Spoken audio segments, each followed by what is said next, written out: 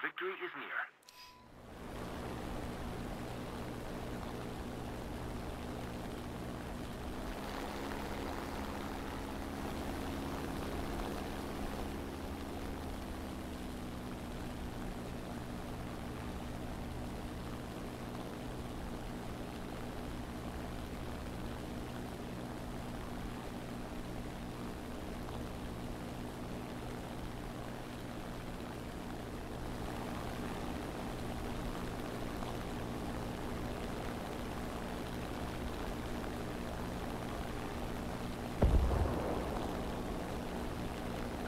captured, we have the advantage.